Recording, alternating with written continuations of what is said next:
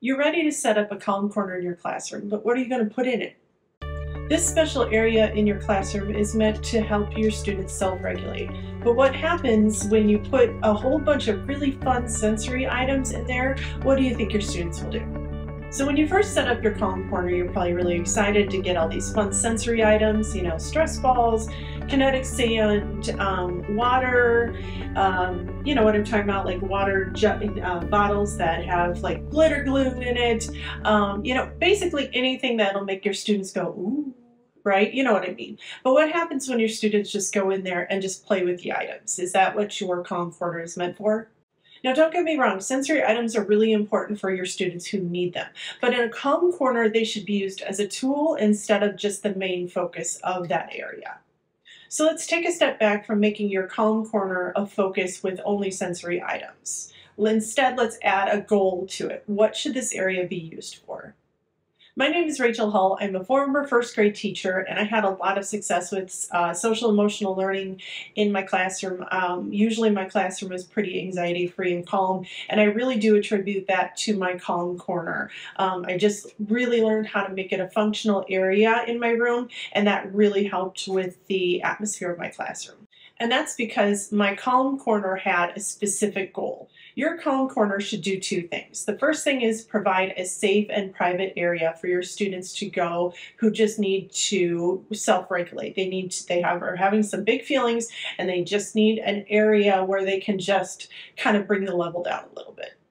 And the second and most important part is that they need to be able to return to the class as soon as possible. So they need to go to that area, really process through their emotions, use some calming strategies, and then when they're ready, come back to you know be able to learn with you. In my last video, we talked about the importance of having a calm corner. So if you're on the fence whether or not this is something that you want to do, go watch that video. But in this video, we're going to talk about the things that you add to your calm corner that are going to help your students self-regulate and then be able to return to your class. And then if you stick around to the end, I'm going to have these, uh, I'm going to tell you how you can get these things at a discount. So stay tuned till the end. So here are the things that I have in my Calm Corner that would help my students process through their emotions and so they could return to their desks with us as soon as possible. Children have really complex emotions, but they really kind of only understand happy, sad, mad, you know, kind of the basic ones. So other emotions like frustrated, disappointed, nervous are not going to be as easy for them to understand. And that's why it's really important for your students to identify what those complicated emotions are. So in your Calm Corner, you're going to want to have some kind of emotions poster. And these are really great too. They just, they have the child's face showing and the body language showing each emotion. So there's nervous, um, here's another one, grumpy, you know, they know they're, you know, they're, they don't know why, but they're, they're grumpy, but they don't understand what grumpy is. And so this would be a really good poster to put there and they'd be like, maybe I'm feeling a little grumpy right now. What should I do?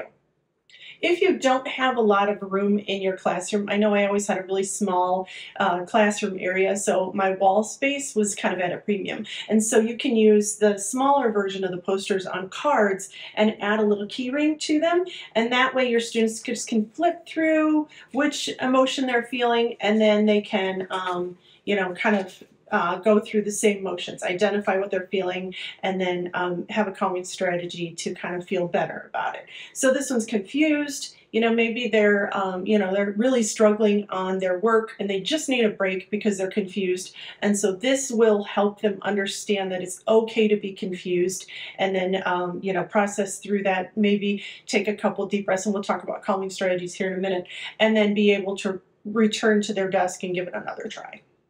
And these are great because your students can flip through them.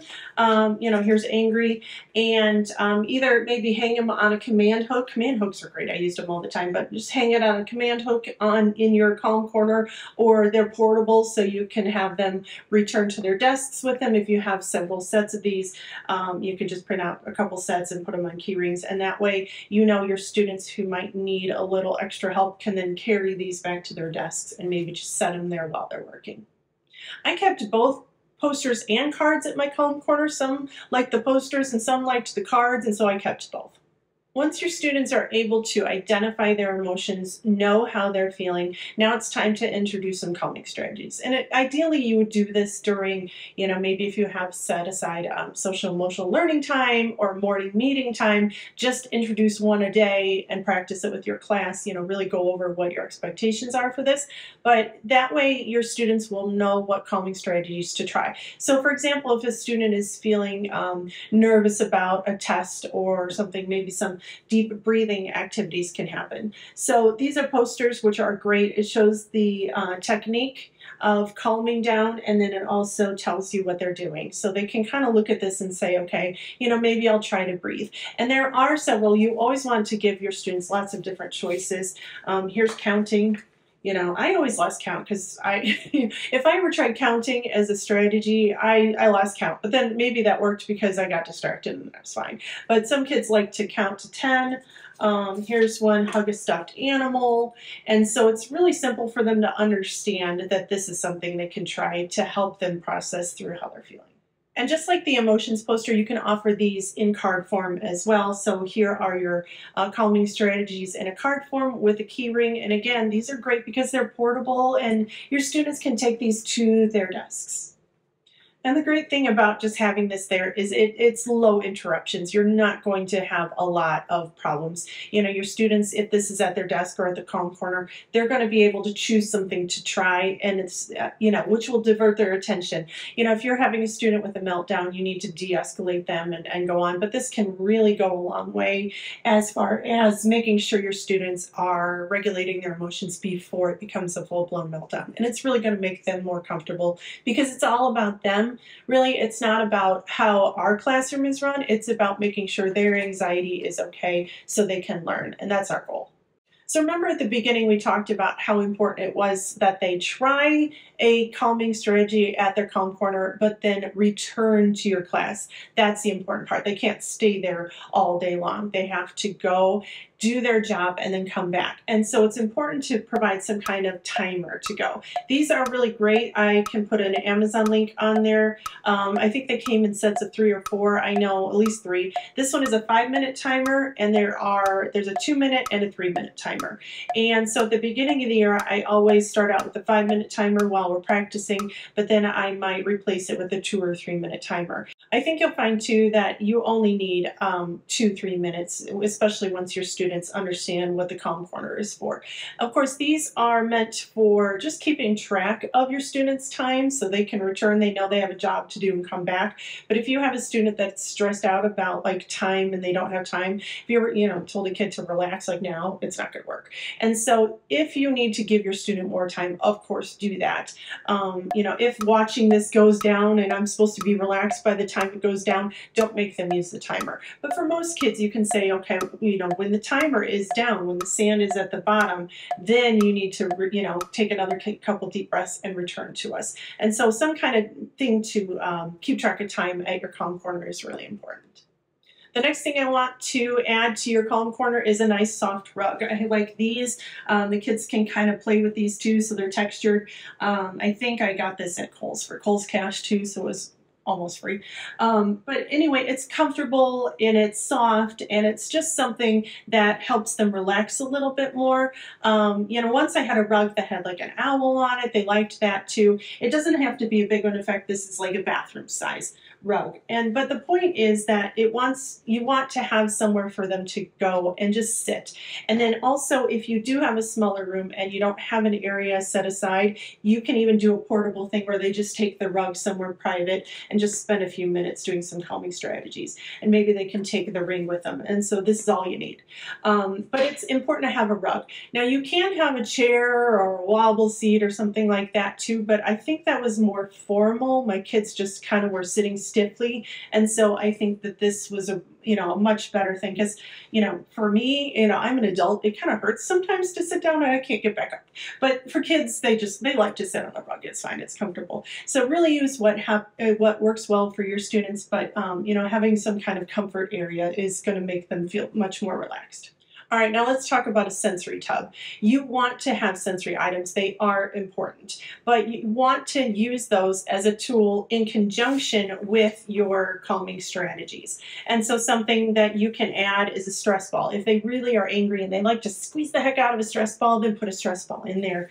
Um, you know, if they like to hug stuffed animals, you know, add a stuffed animal to your calm corner to make sure that they have something to use. But your sensory items need to be aligned with a calming strategy. Otherwise, they're just kind of playing with the toys. Um, but you want to teach them both to use this is the tool to help you feel better. And so if you're going to relax, you know, maybe you do have um, like a glitter tube, you know, where you tip it over and the glitter goes down and you're, you know, you just watch that and the timer goes and that helps you relax. And relax is one of your calming strategies. And so you can see how they're used in conjunction. But like having a pop-it thing, if they don't want to use it, then don't put it in there. So whatever you put in your sensory tub is 100% up to you as what will help your students, but just make sure that you are using them as a tool to help them learn their strategies so they can feel better.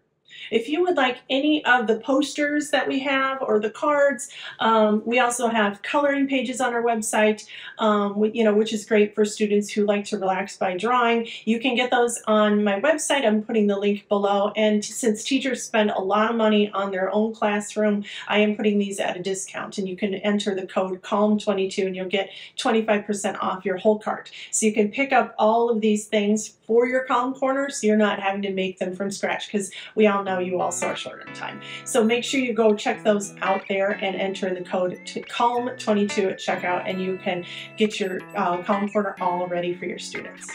And the next video will be all about teaching your students how to use your Calm Corner. Your kiddos aren't going to walk into your classroom and know what to do the first time they visit, and you really need to make sure that you set your expectations for it. So that's the next video. And so I hope you enjoyed this. I hope this was helpful, and I will see you next time.